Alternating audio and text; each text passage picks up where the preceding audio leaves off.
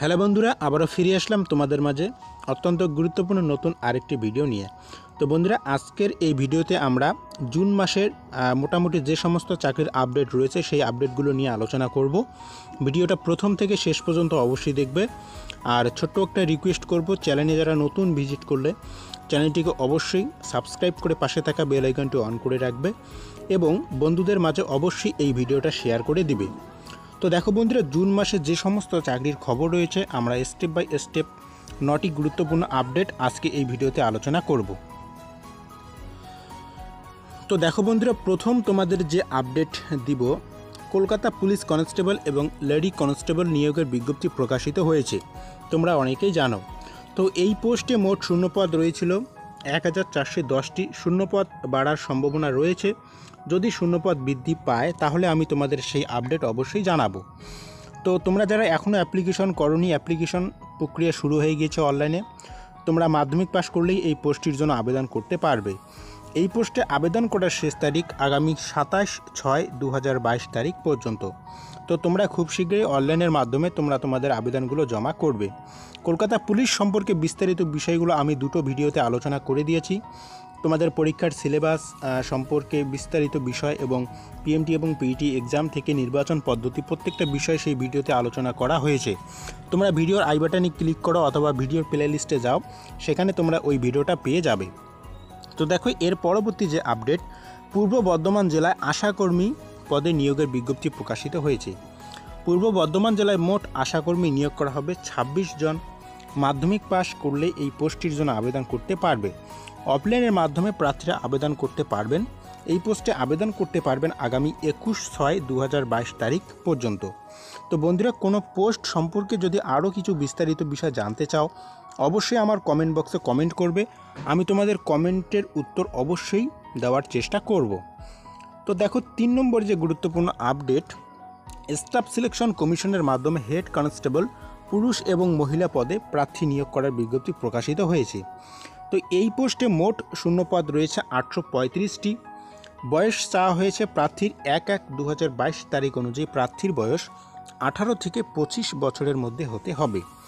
এক্ষেত্রে যে শিক্ষাগত যোগ্যতা চেয়েছেন, যে কোনো স্বীকৃত বোর্ড থেকে উচ্চ মাধ্যমিক পাস, সঙ্গে তিরিশটি ইংরেজি শব্দ অথবা পঁচিশটি হিন্দি শব্দ টাইপ করার দক্ষতা থাকতে হবে। তো তোমরা আবেদন করতে পারবে অনলাইনের মাধ্যমে আগামী সতেরো ছয় দু তারিখ পর্যন্ত। নেক্সট যে আপডেট, চার নম্বর ইন্দো তিব্বত বর্ডার পুলিশ ফোর্সে সাব ইন্সপেক্টর পদে কর্মী নিয়োগের বিজ্ঞপ্তি প্রকাশিত হয়েছে।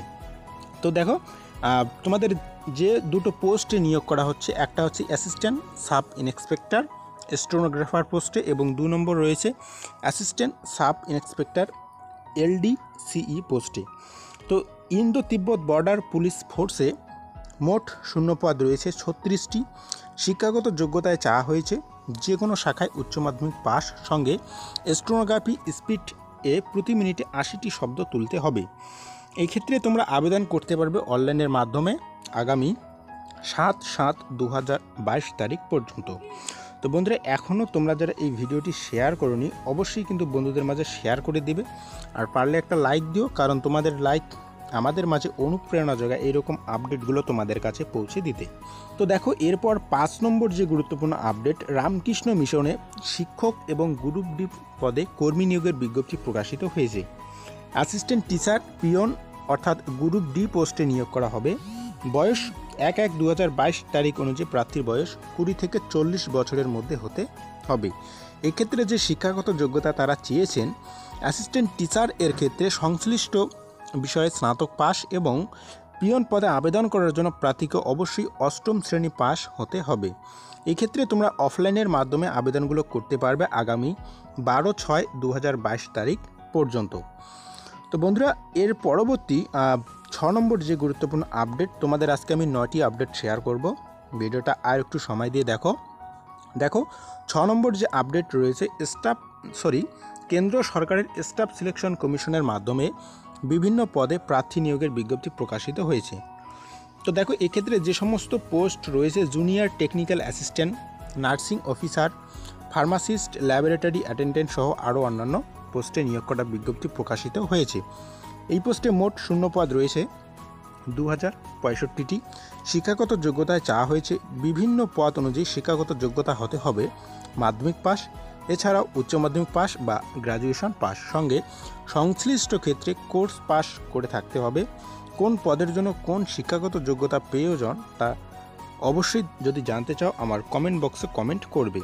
তো এক্ষেত্রে তোমরা কীভাবে আবেদন করবে? দেখো বন্ধুরা আবেদনকারী কেবলমাত্র অনলাইনের মাধ্যমে আবেদন করতে পারবেন আগামী তেরো ছয় দু তারিখ পর্যন্ত। এর পরবর্তী সাত নম্বর যে আপডেট, রাজ্যে প্রথমবার ট্যুরিস্ট গাইড নিয়োগের বিজ্ঞপ্তি প্রকাশিত হয়েছে। তো বন্ধুরা, এই সম্পর্কে আমি একটি বিস্তারিত ভিডিও তোমাদের দিতে চেয়েছিলাম, কিন্তু পরে দেইনি। এই ট্যুরিস্ট গাইড সম্পর্কে নির্দিষ্ট কোনো এখনও মানে যেটাকে বলে যে তোমাদের কতগুলো নিয়োগ করা হবে বা যে বিস্তারিত বিষয় সেই বিষয়গুলো কিন্তু এখনও স্পষ্টভাবে জানতে পারিনি, এজন্য তোমাদের বিস্তারিত ভিডিওটা দেয়নি। তো দেখো, এখানে সংক্ষেপে আলোচনা করে দিচ্ছি। আবেদনকারীকে অবশ্যই আঠারো বছরের ঊর্ধ্বে হতে হবে।